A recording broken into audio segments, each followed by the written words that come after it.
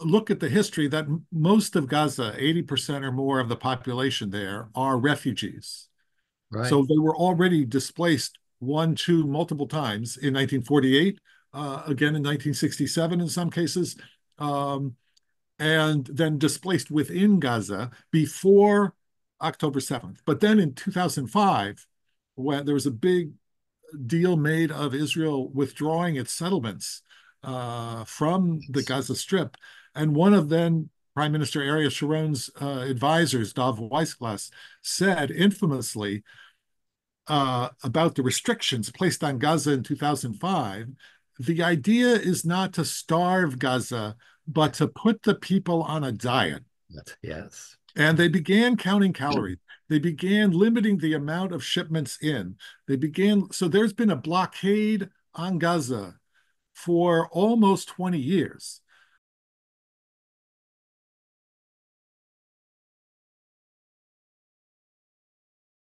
Welcome to the Stones Cry Out delegation summer series of webinars. And I'm delighted that you all can join us. My name is Doug Thorpe. Um, and delighted to have David Wildman um, joining us today. Um, uh, just shout out to um, all of our sponsors. Yeah, so so David, um, David Wildman serves as the main representative to the UN for Global Ministries, the United Methodist Church. Um, he tells me he's sitting in his office across the street from the UN right now in New York City. Uh, he is also area liaison to the Middle East and Afghanistan, has traveled to Afghanistan and the Middle East extensively for more than 20 years. He is the co-chair of the NGO Working Group on the Israel-Palestine at the UN. At Christmas, he participated in an ecumenical delegation to Palestine-Israel led by South African church leaders. It'd be interesting to hear him say a little bit about that. In May, he participated in the Global Anti-Apartheid Conference on Palestine held in South Africa. Well, um, you know, from all that, David, I had the sense that you were older than you are. um, you've you've covered a lot of ground in um, your 66 years, I think we determined. Um, so I was asking you this a few minutes before we started, but but I'd love for you to share a bit uh, about this journey of yours, mm-hmm. um, and uh, you know where you started out, and I, you talked about 1982 as a real watershed for you. So yeah, just a little background before we dive into current situation. Sure. Um, thanks, Doug, and thanks, Mike, and uh, thanks all for joining us. Uh, I really appreciate these weekly uh, webinars. It's a great chance for folks to gather and to share. Um, so yeah, briefly, uh, I first got involved in 1982. I was like active in the peace movement since I was a teenager. Um, in 1982, the UN was holding a special session on disarmament. Uh, and there was a, folks may remember, a march. There was a million people that gathered in Central Park in June of, uh, of 1982. And one week before the march, uh, the Israel invaded Lebanon to drive the Palestine Liberation Organization, the PLO, out. Uh, and there was a devastating war. They marched all the way up to Beirut and uh, surrounded it. So as that started, you know, many of us were like, a war has just started. We should speak out about this. Um, but there were some of the organizers for the uh, freeze campaign to said, no, this march, this demonstration is only about nuclear weapons. No one will say anything about Israel and Lebanon, uh, or we may pull the funding for the event. And in fact, no one that day um, said anything from the podium, uh, from the platform, the stage, about it. But there was a few of us, a much smaller group that gathered at the Israeli consulate, which is around the corner from where I am now. It's a block away, and protested there. Um, you know, if you fast, I was in seminary at the time. So, of course, we were studying the Bible, which happens in the same location, um, as many of you have read. And I don't think I'd really connected to the Living Stones as people talk about at all at that point in my seminary career. But I sure, sure as hell was worried about like what's going on.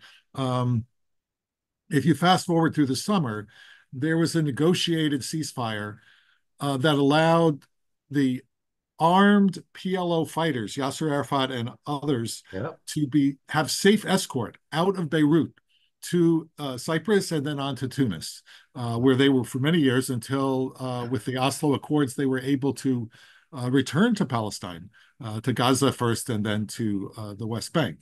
Um, then in September, after this horrendous slaughter and the safe passage of armed fighters, um, the Israeli military under Ariel Sharon stood by and allowed lit flares and allowed the Christian Phalangist militias to come in and slaughter over a thousand Palestinian unarmed refugees, uh, men, women, and children. Uh, and when I saw that and saw the silence of the churches and the silence of the peace movement, uh, or the vast majority of us, I was like, there's something wrong here uh, there's something that needs to be done. And that was the beginning of my journey to find out more about what was going on in Palestine and how to be in solidarity with Palestinians and all that wanted to end the horrendous uh, oppression and displacement and uh, dispossession that Palestinians have faced for so long. Yes. Yeah. So um, you've been involved with the UN um, for years, you know, uh, you know, with with church connection. So mm-hmm. I'd, I'd, like to hear you talk a little bit. I'm going to want to get to the church connection, but say a, a, a bit about your, uh, you know, association affiliation with the UN. You you've been in Afghanistan, many other places. Um, so just yeah, uh, what can you tell us about the role of the UN, um, especially obviously in Gaza and in Palestine? Mm-hmm. Well, this is uh, the question of Palestine, and it's framed at the UN as the question of Palestine because it started in 1945 as British mandate yeah. Palestine, and the British government wanting to wanting and needing to end its mandate uh, and kind of turn it over to this new organization, the UN. Um, I'm not going to get into all the history, but since 1947, yeah, it's been the on the UN agenda as and the UN is is. Uh, it's it's it's like a group uh, that I, I, have given the term uh, Caucasoids. Hmm. That they're they're a group. It's a club of governments, but they believe that you know if you can't agree on anything else, can you at least agree to meet again on the same subject? uh, so it's it's a kind of minimalist approach, uh, but but uh, and those folks who meet should be the ones who've done the most meetings.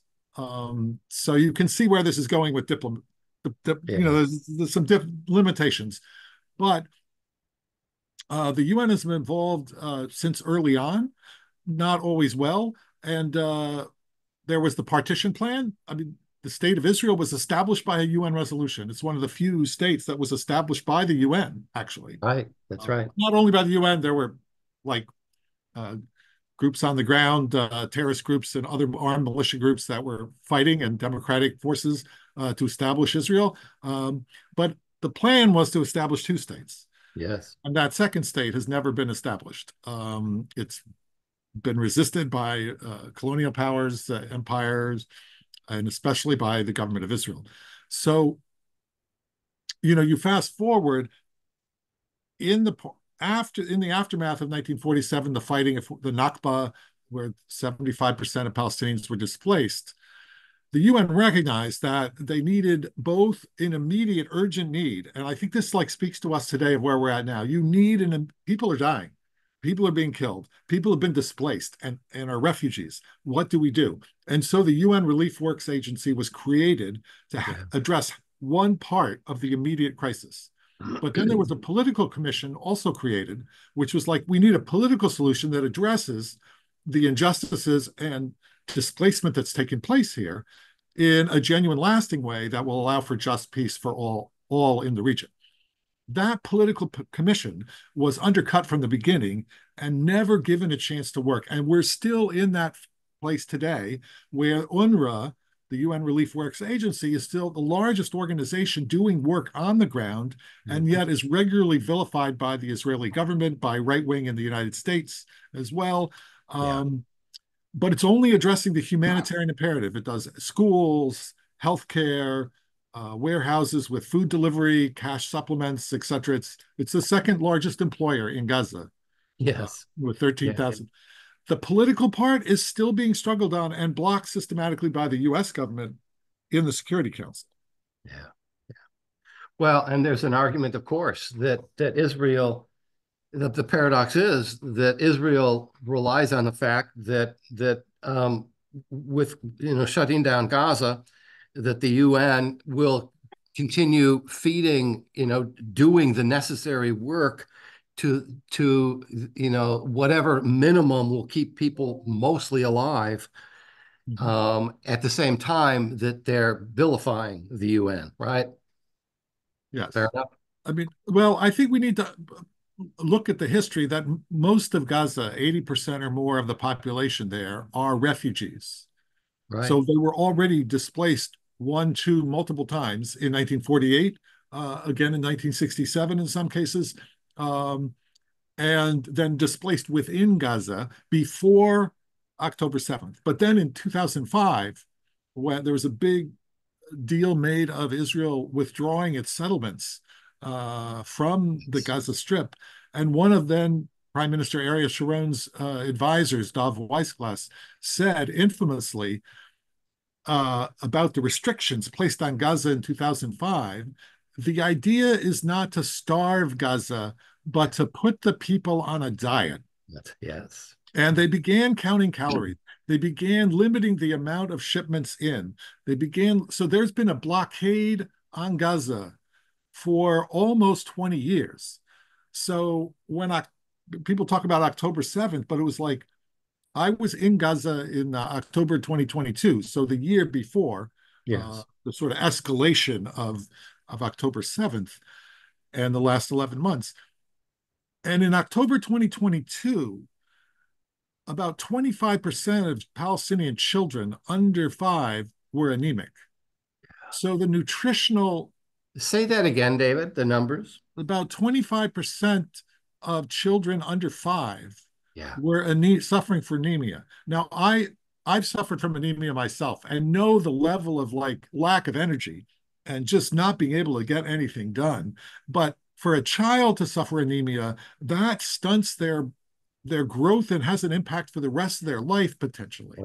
Um, now, at that point, they had UNRWA health facilities. They had other hospitals that were operating, not always with enough resources, but there were things that they could do um, and get them some supplements, some iron supplements and other kinds of nutritional supplements. Still, with all of that aid and assistance, uh, it was not enough. And that blockade from 2005 onward uh, basically transform Gaza from a agricultural society, from an independent kind of a place that had the capacity to produce its own food, uh, to really flourish with factories and, and production, into an aid-dependent uh, enclave of now over 2 million people because they can't export anything and much of the agricultural lands are a closed military zone. I mean, a lot. I know a lot of folks are aware of these issues, but I think it's really important to remind uh, policymakers that that this didn't come out of nowhere. That there was already a profoundly compromised. And it, October sixth, one day before, uh, hmm. there was a need for 500 trucks of aid delivery into Gaza when there was power, when there was hospitals that were open and operating. Now you have the whole of the infrastructure of Gaza destroyed. You need at least 500 trucks. Yeah. And Israel, by its own admission, has at most let in like 20% of that, uh, of the needs over the last 11 months. Yeah. Yeah. Um, and if I may, I'm going to make another plug here, David. There's an organization called We Are Not Numbers that I'm sure you're familiar with um, um, that uh, uh, publishes stories from, folks in Gaza, um, and so it's it's a good way to get some direct information and and support some of those those those folks who are there. Um, this is not direct. This is not where I was going to go, but but since we're here, um, um, I'm I'm curious about um, how how you respond to people who do not agree with you. Um, and there, you're in New York. Um, where are you from originally, David? Uh, just north of the city. I moved into the city when I was 19. So okay, okay. But New Yorkers will say I'm not really a New Yorker because like. no, of course, of course. um, so so you're not a Midwesterner. You're not from the you know North Dakota. Um, so you know if you get out into those territories, um, or in New York for that matter, right? I mean. Um, people, of course, are going to say, well, Hamas, I mean, look what Hamas did. Um, how do you respond to to those statements?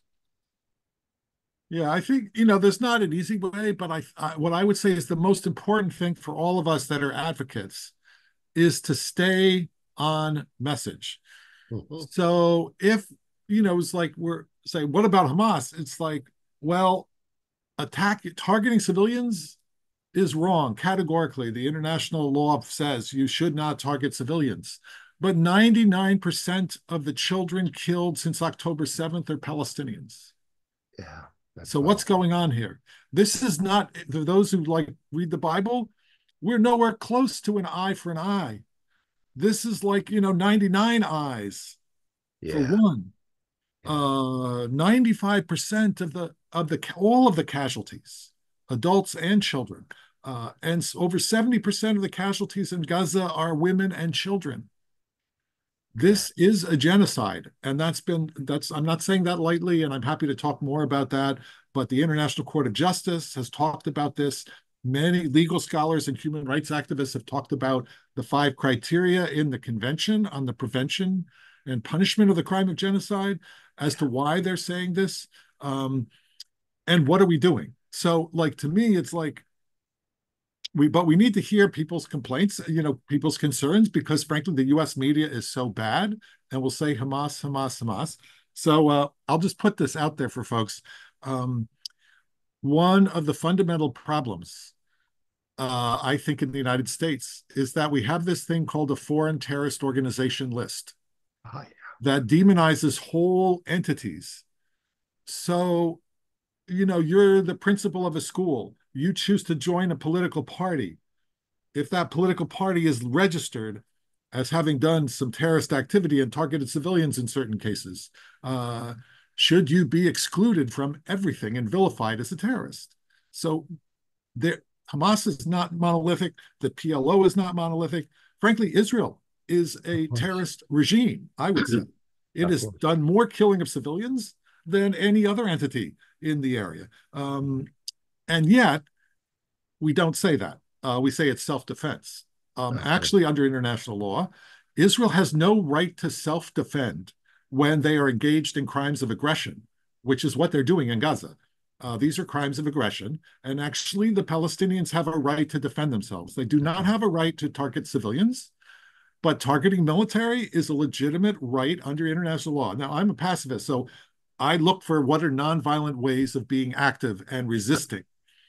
But I have to also recognize under international law that there are rights to defend oneself. Um, and so, like, we need to kind of unpack. Sometimes that's by questions. Uh, for those who folks who read the Bible, Jesus the approach that he would take oftentimes when because folks were looking to trip him up. This was like Fox News was interviewing him all the time. You know, they were trying to say like, well, let's gotcha, you know, little gotcha moments. Uh, he would turn it around and either tell a story or he would ask a question.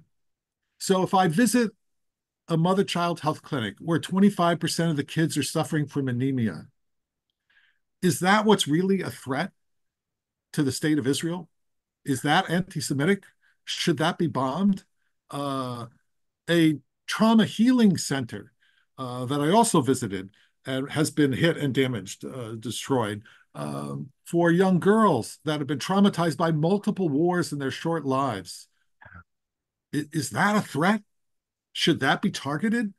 That's what we're standing for. Um, and that's what needs to be defended uh, and advocated for.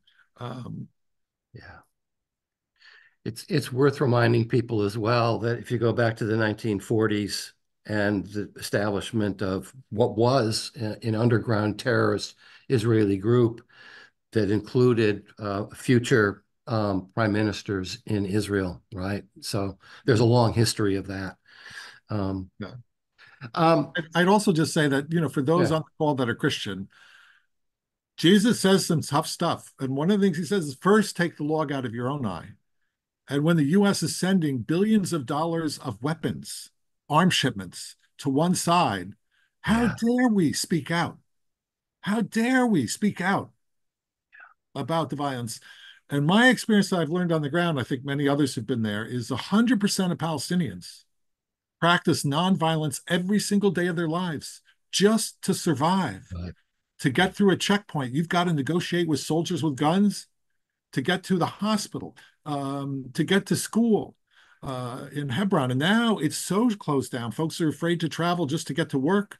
Um, so that's why I say that, like, you know, where we might turn it around and say, where are the Gandhis and the Martin Luther Kings of the US churches today taking strong stands to stop the brutal crimes of our own government and yeah. our own administration that are engaged in aiding and abetting genocide.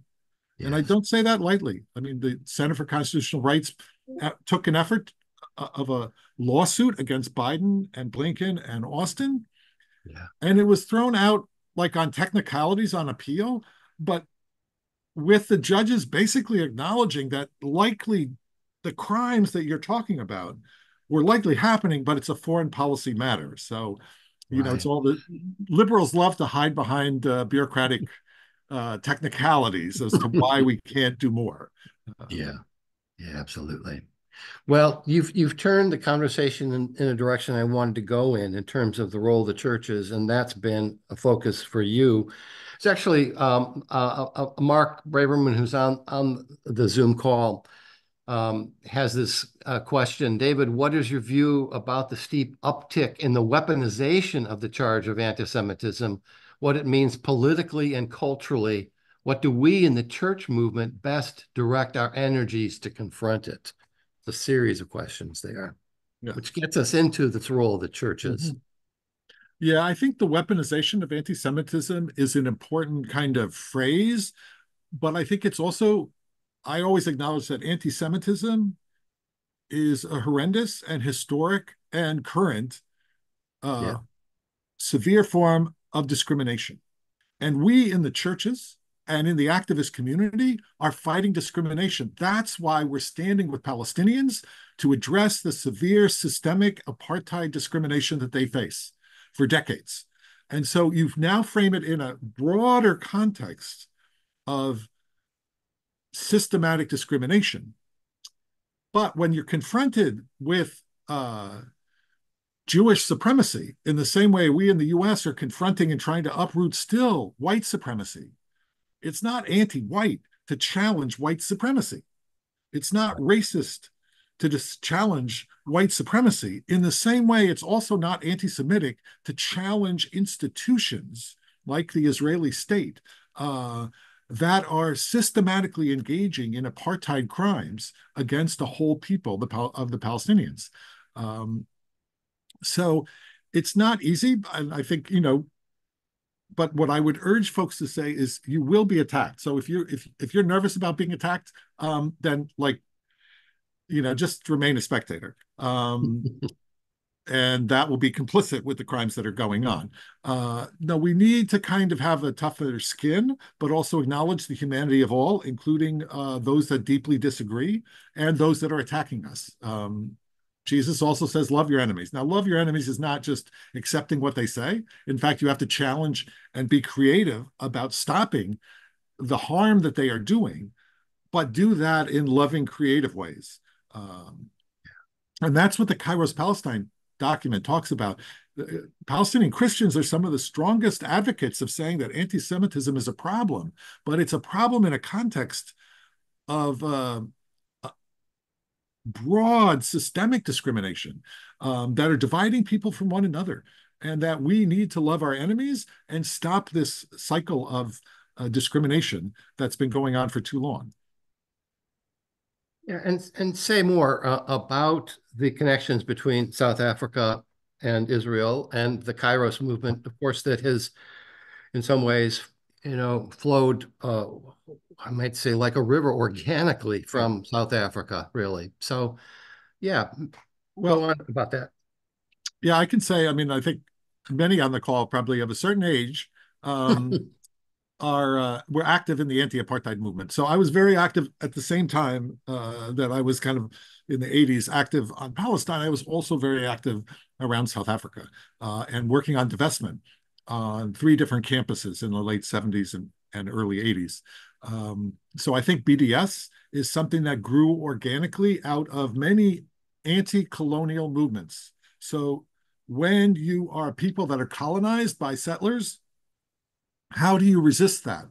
They usually have overwhelming firepower. So armed resistance is sometimes you often used, but one of the more creative mass resistances is forms of boycott. So think of Indian struggle for independence in India, Gandhi and others, the Salt March and the cotton boycott. There was a variety of boycotts that were used to resist um, British settler colonial rule. Uh, in South Africa, the boycotts and divestment were also very powerful. Uh, so I think one of the ways of looking at the Kairos document in South Africa and the Kairos document in Palestine was linking with these mass struggles of the people to resist this colonial uh, imposition uh, and suppression of the vast majority of the people. Uh, but then looking at the theological component of like where's the church and all that and addressing church leaders and i'll just say you know if you read the bible and you do a little head count most of the prophets are court prophets they're very good at justifying and cozying up to power they're usually not named thankfully the ones that are named are the are, are the bold courageous prophets that are challenging that system of the institutional church, the institutional faith communities, being all too comfortable uh, with power. Yes. And uh, so I think it's like the Kairos moment is are we willing to take a stand and speak out and act out uh, for the sake of the people, for loving our neighbors? And that is our way in which we express our love for God. Uh, it's not easy. Um, but I'll share my uh, one of my favorite quotes, uh, scriptures, is Jesus's story about um, the need to pray always and not lose heart. So, if ever there's been a time where we've needed to pray always and not lose heart, it's been this last 11 months where we're watching genocide and 100% of what pe- there's mass mobilization, student encampments, civil disobedience, um, Jewish Voice for Peace and uh, Rabbis for Ceasefire Now and others have shut down Grand Central Station here in New York, uh, have shut down many other things. Uh, there's amazing work that's been done, and yet mm-hmm. not all of that together has not stopped the Israeli slaughter and genocide, and it has not stopped the US government from aiding and abetting and saying it's not, you know, the right of self defense in the face of cruel aggression and genocide. Um, so we just need to be humble and say we have not stopped it yet. Mm-hmm. So we we should not be hopeless. We should not give up, but we just should be at that not yet moment. And, and the the story mm-hmm. that keeps me going is the story of the widow and the unjust judge.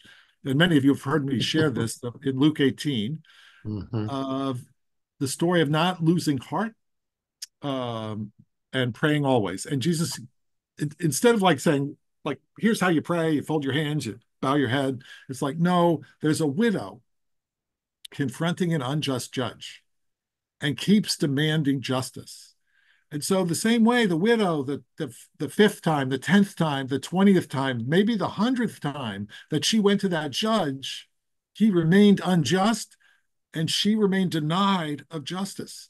But at some point, I think when she was making those demands, the judges in an oral tradition would be sitting at the market at the gate by the wall. So, like the Damascus Gate in the old city in Jerusalem, mm-hmm. be sitting there where the markets are with all the vendors and all the people coming both from the, the fields bringing their their crops and the folks from inside the gate coming out to buy things. at the most public place is where she's demanding justice.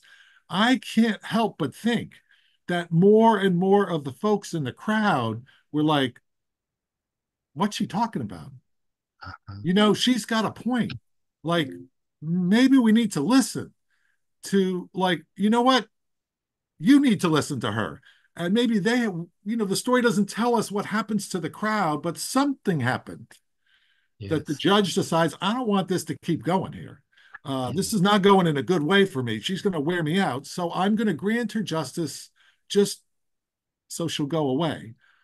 And I think that that notion of understanding our work of activism in solidarity with Palestinians for their rights is a ministry and a politics of erosion. That we need to wear down the US government, the US administration. We need to wear down every politician that looks at their own self interests rather than the sake of humanity, of children and people dying every single day, uh, being worried about being called uh, weaponized, you know, attacked as anti Semitic. Um, that we need to overcome those fears and join the widow, join the Palestinian. There's way too many widows today. Join the Palestinian widows, uh, the Israeli peace activists who are incredibly isolated, uh, but still uh, yeah. B'Tselem and uh, and other groups that are doing things as they can. Um, yeah. We need to join with them and take those risks uh, in creative ways. Yes. Well, and you just gave us a wonderful advertisement for the Stones Cry Out delegation going to DC because this is exactly what we're trying to do, what we were doing in March. Um, again, you just keep showing up right? You just keep showing up. So, well, um, can I, Doug, if I could just interrupt for the for the Stones yeah. Cry Out for everybody who's going to DC um, in September in a couple weeks. Uh, read Jeremiah 22. Uh, that is um, the marching orders for lobbying. Um, I don't know if folks realize that, but Jeremiah was one of the early uh, lobby day advocates. Um, this is what the Lord says Go down to Congress and the administration well, it was the house of the king. You know, we have to translate the Hebrew a little bit here. Um, and proclaim this message. Hear the word of God. You who sit here in elected officials. Uh, this is what you should do. Do what is just and right. Rescue from the hand of the oppressor the one who's been robbed of their land, of their livelihood, of their rights. Do no wrong or violence to the alien the fatherless, the widows, mm-hmm. and do not shed innocent blood. Jeremiah was the first one to come to the Biden administration and say, stop it. Like, stop it already. We need a ceasefire. Um, so just read Jeremiah 22. It goes on to compare two administrations. You know, you have to like work with the Hebrew a little bit. I've, I've had too little sure. Hebrew that just enough to make me dangerous. Um, he compares two administrations, as a father and a son. And what this is the previous generation, there was a generation, there was an administration that defended, this is verse 16, uh, that defended the cause of the poor and the needy, and things went well. Is not this what it means to know me, says God? Yes. So I want one of the challenges from Jeremiah is to challenge our elected officials, whatever faith they have, is like, don't say you're faithful and that you care about victims uh, if you're still shipping arms. It will be well if you stand, when you stand with the people suffering the most, is where you will find God in your midst. Yeah. Yeah, Mark added another note. Then, of course, there's Naboth. Um, um, and uh, remind me, uh, what's the story of Naboth? Well, there's uh, yeah Naboth's vineyard in in in King. Ah, that's right. And uh, you know Naboth has one small little vineyard, and of that's course, right. All right, exactly. Yes. And Palestinians, you know, have small, like olive trees that have been in their families for centuries small fields, uh, and those are being systematically destroyed. And if you know, if people saw just the news today, uh, the worst military incursions by Israel in over 20 years. Just this morning in Tulkarm, the, the, the refugee camp was given four hours to evacuate. Yeah. The exact same dynamic. And the Israeli officials are talking now about the you know the kinds of tactics that we're using in Gaza, which we think we're the most moral army, and et cetera, et cetera. Um, we're we're we're getting ready to use those tactics in the West Bank. I mean, these are this is Israeli officials are saying this. Um, yeah. The largest operation there was 150 soldiers just in Shufat refugee camp uh, today in uh, in Jerusalem. Uh, there's airstrikes in the West Bank. So all of this is gearing up to say, hey, you know, we've been getting away with murder, literally, yes, in Gaza for 11 months. Let's try it. Smotrich, Ben Gvir, Netanyahu, they're like, they're eager to do the same thing uh, across the West Bank, and I think Palestinians are very nervous about that. And we we have an obligation in the U.S. to do whatever we can to stop the uh, complicity of the U.S. government with these crimes.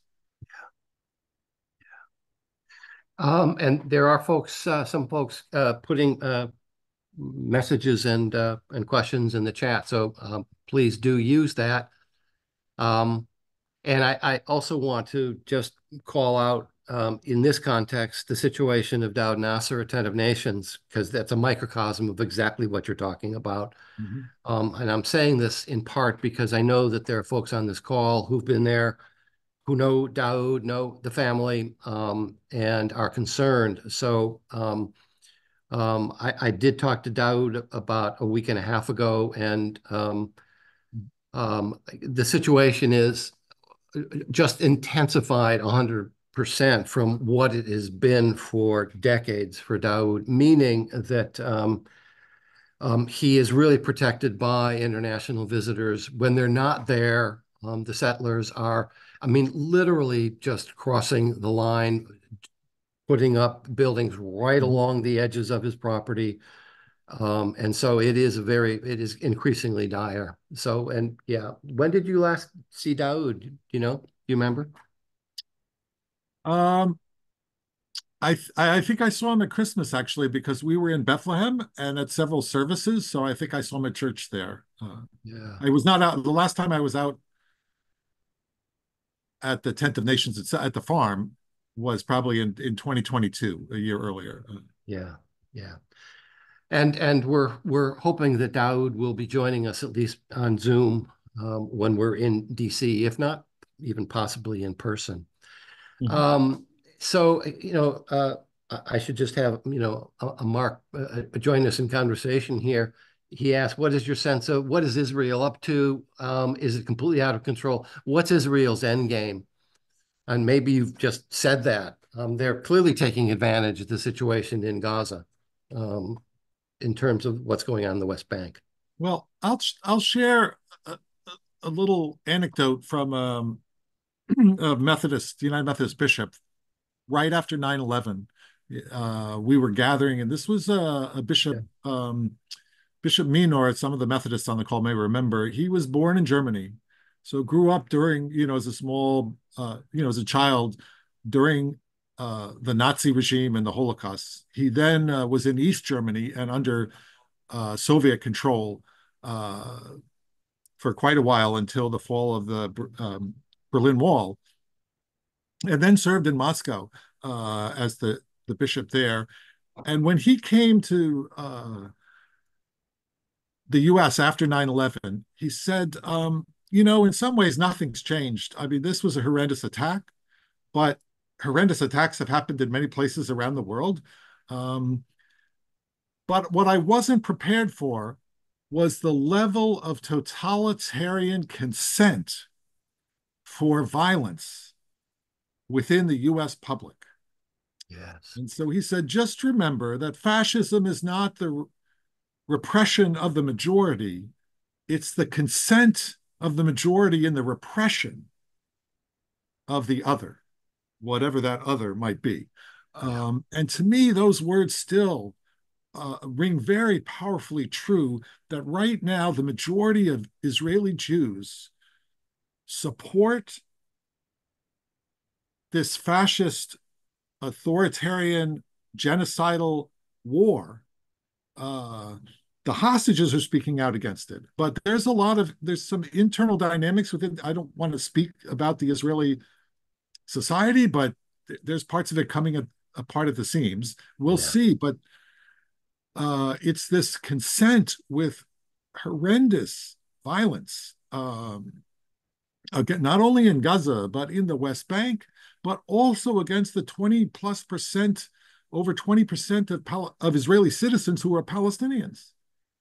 That they are being targeted, uh, discriminated against even further than their, you know, longstanding second class or third class status uh, within Israel. So, what's happening? I mean, I think that Netanyahu is hoping that uh, Trump will win the elections in the U.S. Of course. And so he's yeah. certainly going to keep, and that as long as war continues, no one will look at the horrendous intelligence and military failures of October 7th by the Israeli military and uh, and and political leadership.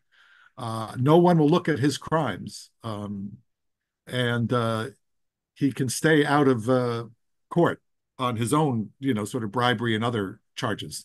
Um, the uh, coalition that he's part of, uh, Smotrich and Ben Gvir, uh, and other right wing, sorry, they're all right wing parties, um, but the extreme, extreme right wing parties, um, even the opposition are right wing parties, they're just less right wing. Um, so, in that context, they're like, this is our, we have a green light. We can do whatever we want. We can arm settlers we can encourage them to just seize more land, to attack folks. They're not even afraid now of attacking internationals. Uh, so internationals have been attacked. Um, oh, okay. So, but so let's look at the U.S. election. May not be decided November fifth. It might take a little while. Maybe the hostage families some semblance of an opposition in Israel uh, leads to a couple of members of Likud or one of the other parties to um, call for early elections, you know, that the government collapses. But it will still be a caretaker government, even if it collapses for months before there's actually elections held. So the slaughter is all likely to continue unless the US government does something. Yeah. So if the US government said no arms, and uh, to quote, uh, I don't usually quote Republicans, uh, but you know Secretary Baker under you know in, in um, the uh, Reagan and uh, first Bush administrations was a little frustrated with the settlement policies uh, of the Israelis, and he's like, "Look, you know my number. When you stop with all these things, call me. But otherwise, forget it. No money." Uh, yeah. They still were very supportive, but that if the Biden administration would say, "This is it stop the war, get a ceasefire now, or you're getting nothing. No vetoes in the UN Security Council, no, no uh, arms, nothing. Yeah. And so that's the, you know, we need to know how much. Now, I'll say one other story here. I got to like, um, and give a shout out since you have the judge from the uh, Samuel Proctor Foundation. Um, years ago, I heard Samuel Proctor preach Mm. Uh, he was at Abyssinian Baptist Church for many years here in New York in Harlem. Wow. And uh, a delightful little anecdote that I think describes the UN and the international community around Gaza. I don't think he, that wasn't what was in his mind at the time. But he said, You know, I was on the subway here in New York. It was really crowded during rush hour.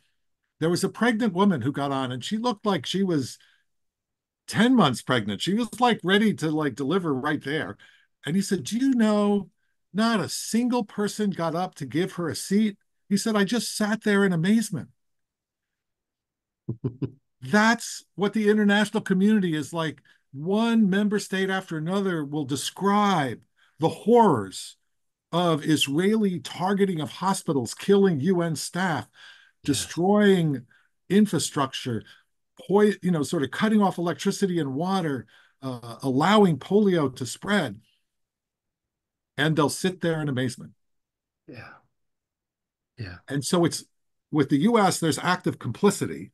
With yes. the rest of the world, there's verbal horror while they sit on the sidelines. Yeah. With and, few exceptions. Uh, yeah. Do you have any hope at all with Kamala Harris and her vice presidential selection? Oh, I always have hope. Hope is, let me just say, uh, Daoud Nasser's sister, Amal, hope. Uh, you know, Amal is the Arabic word for hope. Uh, yes. Hope is what you can't see. That's what yeah. Apostle Paul said. If you can see it, it ain't hope. Um, again, yeah. my Greek is a little rusty. Um, hope is what we can't see. So, of course, I have hope, but I'm also realistic that yeah. there are powerful forces weighing against Kamala Harris or anybody doing the right thing. I mean, look what happened to Jamal Bowman and look what happened to uh, Cori Bush. But it took tens of millions of dollars to unseat two folks. That's not a very cost effective approach, I might right. say. Um, but my fear is that what some, mainly Democrats in Congress and the vice and Vice President Harris's campaign recognize the humanity of Palestinians as long as they stay victims. So, like, yes, we want to restore funding to UNRWA or have funding through other channels like the World Food Program. We understand the stuff. We want to make sure they get polio vaccinations. Uh, but but don't start getting uppity and talking about rights now. Uh, don't do that. Like uh, Palestinians can't speak for themselves. For instance, at the I mean that was just a horrendous decision by whoever made the decision not to allow a Palestinian to speak for themselves. And I think we need to always insist that Palestinians are more than capable of speaking for themselves. What we need to do is listen. Right. Yeah. Yeah. Thank you. Um, just a note from uh, John Paarlberg, uh, who reinforces what we were saying about Tent of Nation. I was at Tent of Nations last week. Israeli settlers have put up caravans just feet from their property line make frequent incursions. So again, just reinforcing, and again, that's a, a small slice of what's happening all over the West Bank at this point. And Doug, uh, if I can just yeah. interject, this is Mike again, but if I yeah. could just interject, uh, um, uh, John Paarlberg uh, was with us in February and March on the first Stones Cry Out delegation. And as he said, he was just there. He was with the Christians for Ceasefire uh, mm-hmm. delegation with uh, Eli McCarthy and, and a yeah. bunch of church leaders, and he was right on. Uh, they were in, they were uh, at the border of Gaza, and they were really putting their uh, putting their their lives, uh, um, right. you know, between settlers and Palestinians, and really doing the good work. So shout out to John. Absolutely, absolutely. Thanks for that, Mike. Yeah. And, and David, we've got just a few minutes left. So um, say something about the role of the churches and what we haven't done and what more we can do um, in this context. Um, um, you know, again, you were saying, um, I think maybe before we started about, well, you know, there are folks like Eli and others, you know, who uh, have feet on the ground, but it's not necessary um, to go there to do important and good work, right? So, yeah, talk about them that. Yeah, I th- I think you know um, there's a way in which many of us who've been active in this, uh, you know, want to be close to the action because that makes us feel like we're making a difference. And so, mm. uh, Palestinian Christians, the Palestinian community large, have called for folks to be present in solidarity, and that's an important call. But that's one part of it. And all the Palestinians that I've talked with is like, you need to change. If you're from the United States, the linchpin in all of this is the absolute support of the US government for the government of Israel. That needs to stop. We can't get visas to come to the US.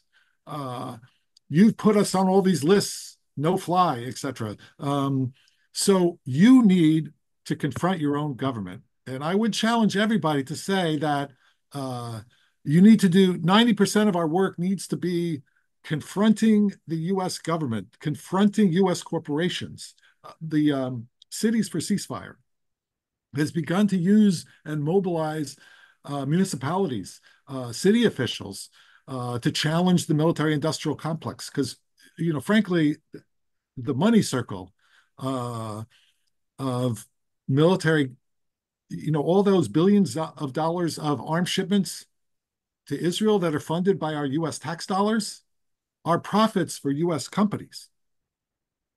And so we need to challenge them and stand with the students I love what the um, I think the churches could take a lesson from the University of Michigan Student Senate. I don't know if people have seen this recently, but they just announced uh, they actually ran last spring as a shut it down party, and they got like half the student senate and the student president. Um, and so they said we are freezing all funds to all student groups until the administration and the trustees divest uh, from companies providing arms and and uh, support to Israel. Uh, and so churches could stand with the students. I think a really important thing now is not for us to say, well, we let's tell the students what to do. Yeah. Students know what to do. They're active, amazing work on campuses, but did we show up to say we're standing with you? If you need sanctuary, we've got a congregation across the street or down the street.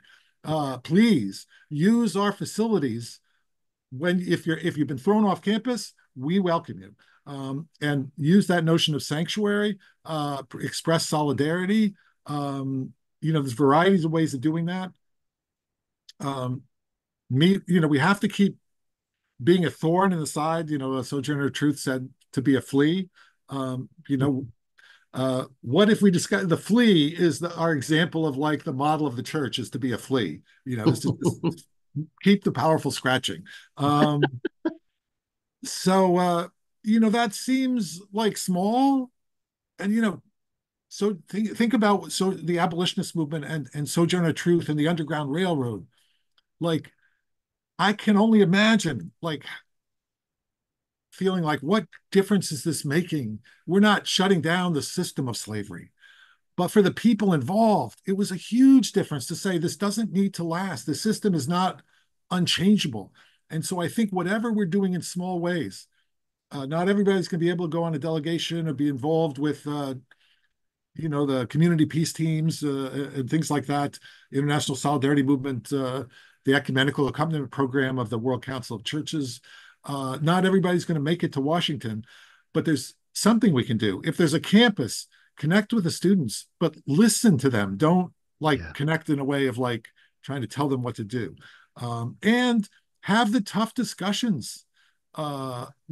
If there's interfaith work going on in your community, insist that the Muslim community be a part of that. There's been way too much Jewish Christian dialogue that's been uh, dialogue to silence Christians taking strong stands on Palestinian rights. Um, but the Muslim community is besieged. They're the first folks that are going to get targeted and are already being targeted. Um, so I would say that's another thing is, you know, there's um, a number of groups that have been very powerful of standing with them uh, as they're facing discrimination and students are, are losing jobs. So th those are things. And Munther Isaac said this in all his speeches is like what happens in September on the streets and on campuses is far more important than whatever happens in November in the United States. That's powerful. Yeah. Thank you for that.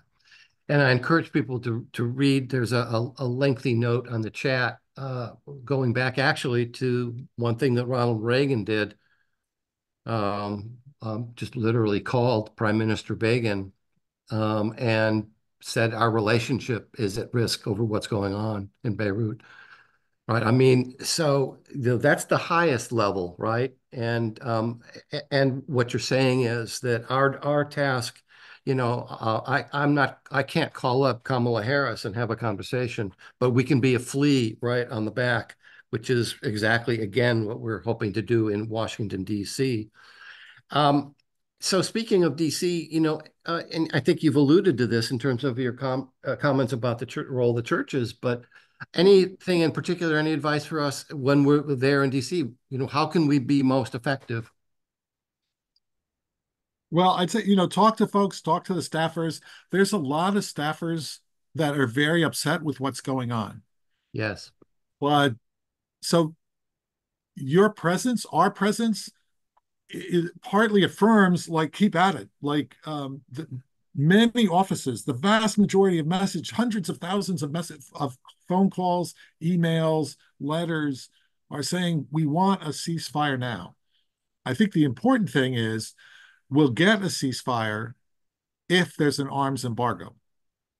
Right. So the big message to Congress is it's not enough to call for a ceasefire. The precondition that's necessary absolutely necessary to implement a ceasefire is an arms embargo by the United States. Um, and that's good for everybody. Uh, except for the well, the military contractors probably will not be so happy about that. Right. And let me just say, I want to invite folks to consider. Years ago, Martin Luther King talked about the military industrial complex. Eisenhower talked about it. Could we just say that it's time for the military industrial complex to die?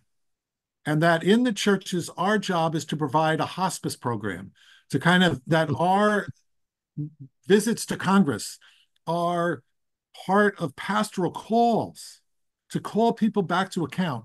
I mean, after 9 11, Barbara Lee was the only one willing to speak out. So now we have a lot more than that. Uh, we had 100 uh, Democrats that did not show up, uh, one Republican, I think, um, when Netanyahu addressed uh, a war criminal mm-hmm. address Congress, and they celebrated that. Um, yeah. So let's appreciate that and say, but what more can you do? And encourage folks like we all need to think of what's the extra mile. Um, I'll, I'll close because I know we're at the hours. When yeah. I was there on the Christmas delegation uh, in Bethlehem and Jerusalem, uh, I then went on to Egypt, to Cairo, and met with a couple of uh, Raji Sourani and uh, Issam Younes, who were heads of the Palestine uh, Center for Human Rights and also the Al Mezan Human Rights Center that are based in Gaza. They had gotten out last fall in November and then uh, in December.